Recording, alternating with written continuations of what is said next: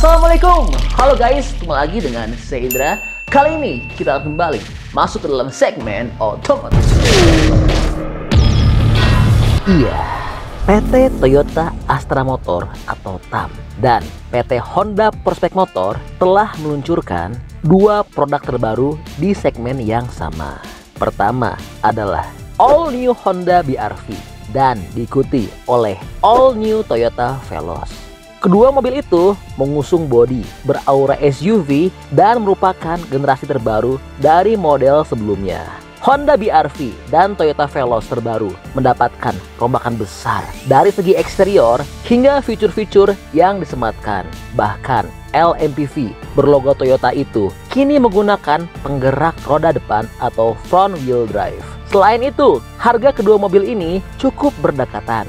Contohnya adalah Toyota Veloz tipe termahal QTSS dan Honda BRV model SCVT. Dua varian tersebut memiliki selisih harga 8 jutaan aja.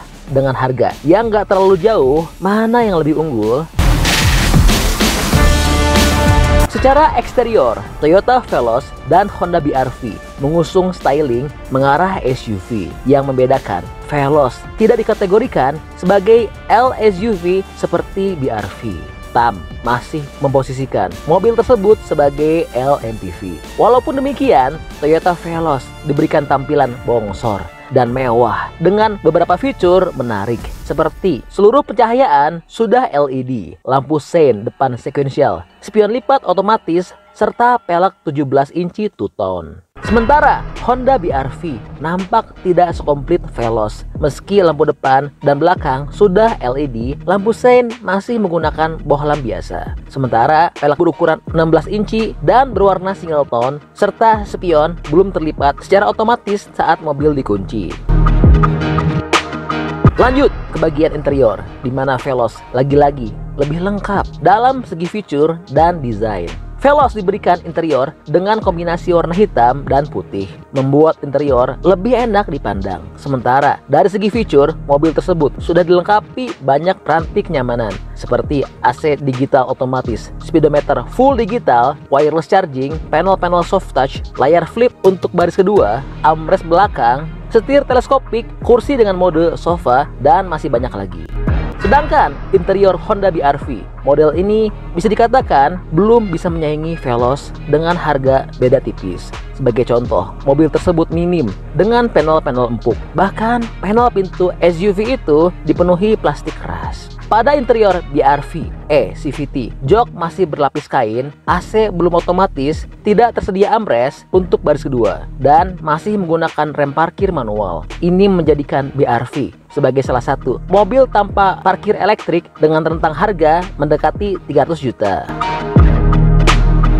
Karena Toyota Veloz ini tipe termahal QTSS, LMPV 1 ini sudah dilengkapi Toyota Safety Sense atau TSS. Peranti canggih ini diklaim dapat meminimalisir resiko kecelakaan dengan penggunaan teknologi pre-collision mitigation system.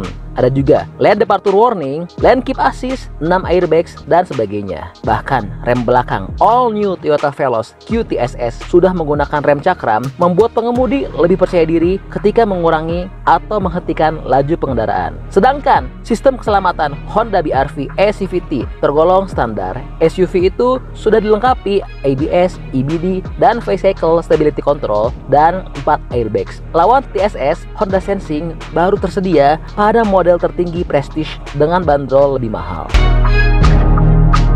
Nampaknya Honda BRV belum bisa menyaingi Toyota Veloz dari sisi kelengkapan fitur kenyamanan dan keselamatan. Namun, dari sisi performa, Honda memasangkan mesin 1500 cc DOHC dengan semburan tenaga sebesar 121 PS dengan torsi 145 Nm. Di sisi lain, all new Veloz dibekali mesin dengan kapasitas sama. Hanya saja tenaganya lebih loyo, yaitu cuma 106 PS dan torsi 111 Nm. Kedua mobil ini menyalurkan seluruh tenaga mesin ke roda depan melalui transmisi CVT. Untuk harga, Toyota Veloz QTSS dibanderol seharga 291 juta 500 ribu rupiah, sedangkan Honda BRV SCVT dipatok seharga 299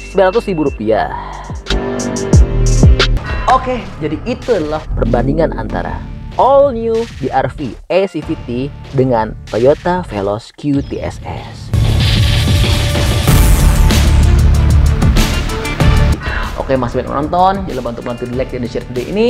Jangan lupa juga bantu untuk subscribe ya. Oke, stay tune at my channel. See you next video.